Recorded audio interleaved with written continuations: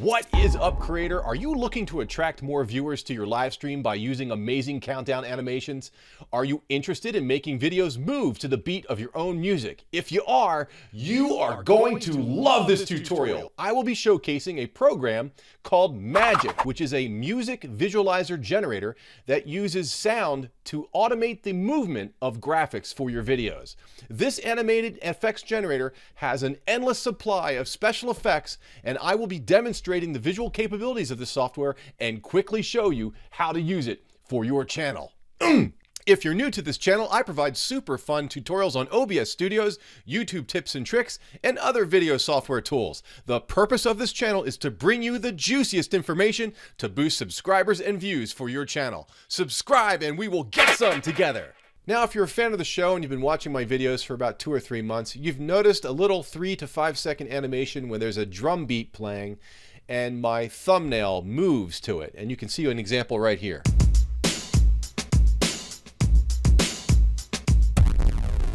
Now, in order to create that, I have to go in to the waveform and apply animations to every single bump in the wave. And it is absolutely enormously time consuming. But now with the use of this music visualizer generator called Magic, I can just plop the graphics in there and let the software do the dancing, which saves an enormous amount of time. Usually I don't buy software right away, but when I downloaded the trial version and started experimenting with it, I realized that the power of this software is off the hook. So I immediately purchased it for 45 bucks and tore right into production so that I can show you a really cool demo. All right, this demonstration uses eight individual scenes that are switched with increments of time when applied to the song that I'm about to play. The music was created by a very talented music composer out of Paris, France. His name is Jeremy Lewerse, and you can find a link to this song that you're about to hear right there. 90% of the music at his channel is commercial free, and this brings me to a very valuable strategy for you if you have a music channel.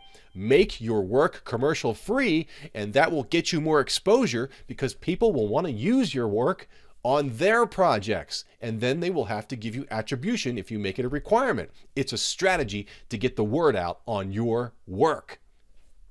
The individual scenes used semi-transparent PNGs of my face, and they're going to be switching back and forth and all this craziness with the automated software. After I demo this, I will give you a sneak peek on how the software works, and then I will show you where you can download it for yourself as a trial. The following 60-second demonstration uses fast-moving bright colors and shapes. If your brain is photosensitive, please skip this section.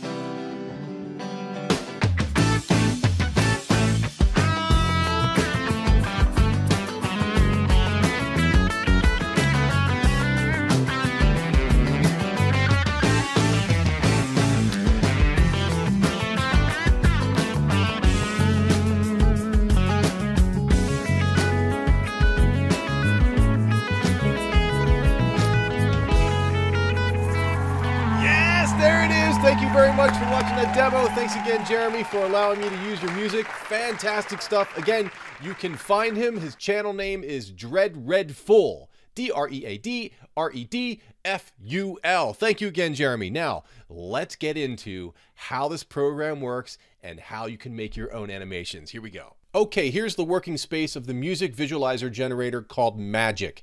I'm going to highlight the different parts of the program so that you can get kind of a global perspective on how things work. So in the upper left-hand corner, there are nine individual scenes. There is no way to really tell what's playing or what's being shown for this individual scene called small face. So if I go to window and click magic window, I get to see what this scene will play, okay?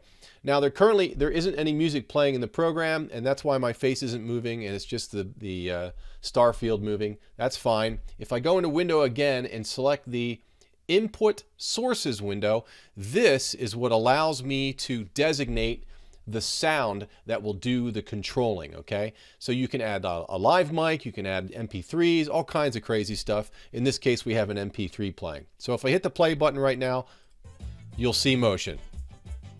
All right, so the next thing I want to show you is something called a playlist. Now what makes this really neat is that it allows you to cycle through the individual scenes that you create. So there's two ways that you can do it. You can do it manually with these two uh, purple buttons at the bottom, okay? Or if I click the playback button control checkbox here and click the A, this turns on the automatic switching, which is designated with these, these time stamps on the right-hand side. And on the left, you have the designation of the individual scenes. If I take the scrubber from this input sources window and put it all the way to the left and hit play, you'll see that the first scene is playing. All right?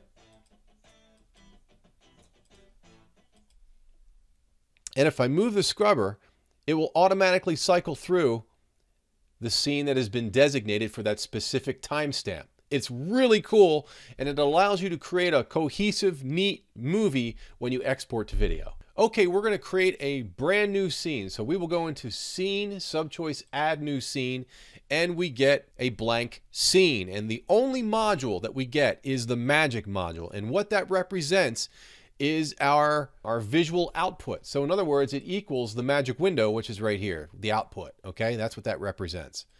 Currently, there's nothing attached to it, and that's why the screen showed black, because we are at, we're not showing anything.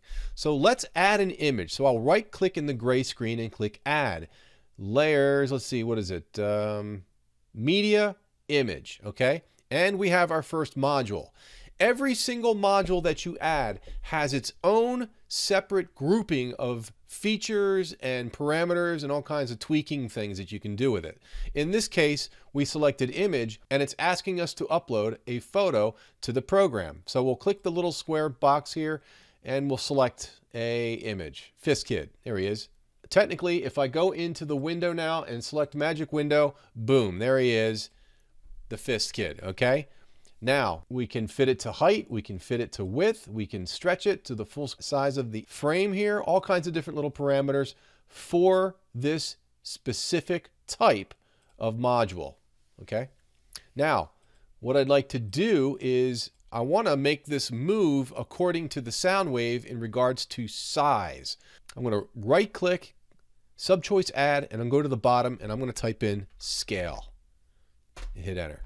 Now, because I right clicked in the gray area, it didn't associate it to what I wanted it to do. It added it as a sublayer to the image. In other words, it's going to add the scale below the image instead of applying the scale to the image. So how do you do that? Well, just take the spaghetti line there and unattach it and take the spaghetti line from the other one and put it right to the beginning and then take the black line and reattach it to the screen. And now we have an image that's going to be affected by scale when we apply the music. So let's first go into the window here, select the input sources window and make sure we have an MP3 set up. We do.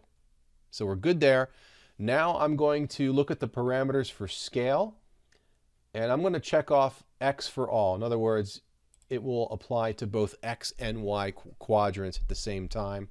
And then I'm going to click this little chain link to the right and this is how you turn on the ability to have the waveform control the motion of the scales by clicking that little link.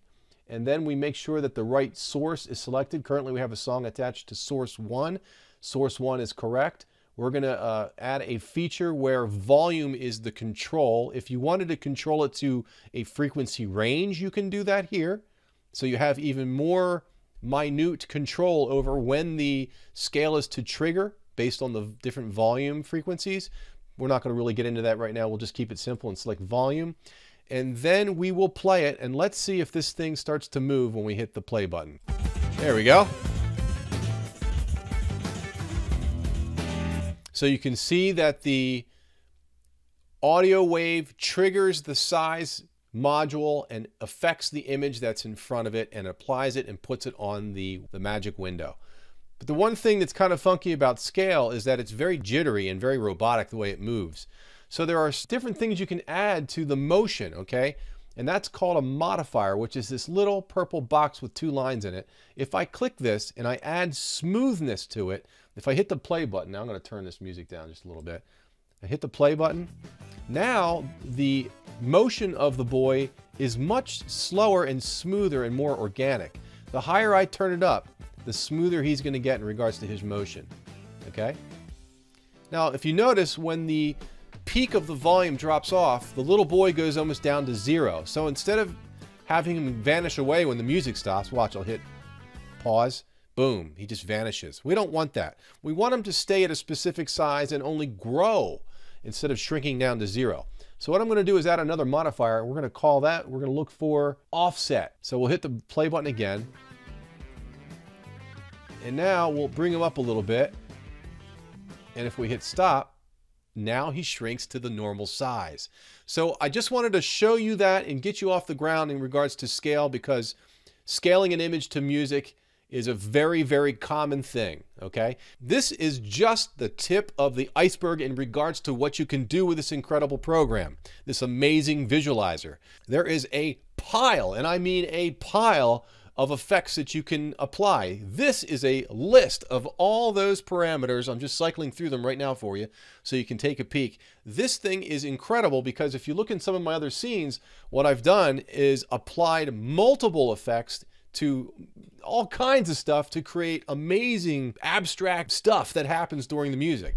You can do things like you can control the play speed of a video based on your waveform. You can add vector graphics and you can do color and you can do shape and you can do blurring. It just never ends. And when you start to combine these cool effects to do what you want, it is absolutely incredible. I purchased this software and I worked on it because I loved it so much for 15 hours. I got sucked in. If you want to download this music visualizer generator, go to your browser and go to magicmusicvisuals.com. And in the navigation, you'll want to select download and choose download free demo. And it'll take you to the download page. And it says here, the demo contains almost all the functionality of the full Performer Edition. The main limitation is that you, uh, saving is disabled and a watermark will appear on the output after 30 days. So I'm not going to explain what you can do to get this on other things. I'm not going to get into that. I think you can figure it out on your own. If you have any questions about the software, feel free to put those in comments. I'll see if I can help you out with them. If you're interested in seeing some more demos with this video, click these right here. You will get your mind blown about how powerful this software is. I will catch you on the flip side. Stay strong, creator. Keep fighting, and you will win.